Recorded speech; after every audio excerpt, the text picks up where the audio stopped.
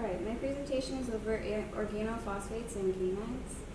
Um, organophosphate is any variety of organic compounds that contain sulfate, sulfate, phosphorus. Um, it's an acetylcholine antagonist, so you get acetylcholine accumulation, which causes overstimulation of the muscles. Um, atropine is the main antidote and really the only thing that we can really do to help it. Um, it's commonly found in flame retardants, pesticides, insecticides, hydraulic fluids, plastics, and, and there was like a few cases where it was found in cars. It occurs in three phases. So you have the first one, which is IMS, then acute cholinergic crisis, and then delayed neuropathy. They're all kind of the same thing, have the same effects, but they come in different phases. Um, the major contributor to any mortality or morbidity is IMS. Um, the exact mechanism of action involved is unclear, so there's no clear treatment for it. That's why atropine is the only thing you can really do, because they don't really know how it works.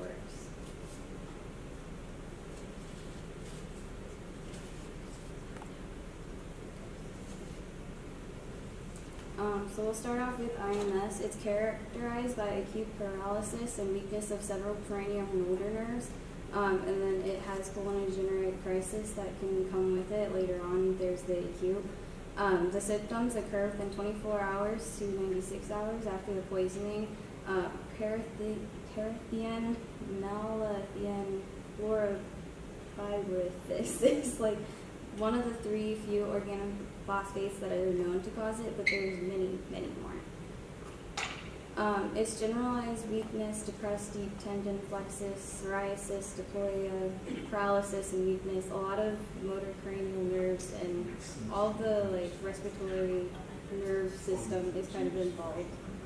Um, the treatment, like I said before, was atropine sulfate. Um, 2-PAM was kind of used in some cases and is found to help a little bit.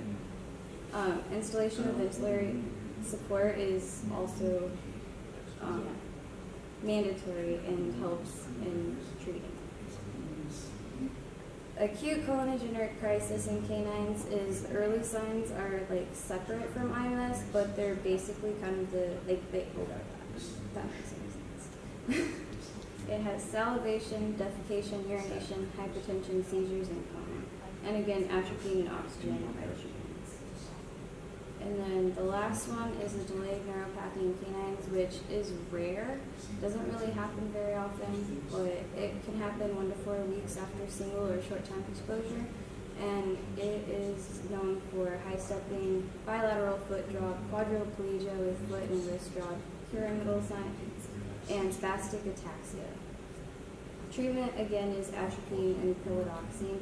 In all of these cases, you want early administration and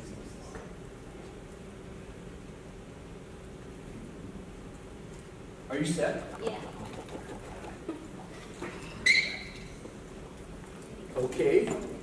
Okay, next person that wants to c- come up. And while I'm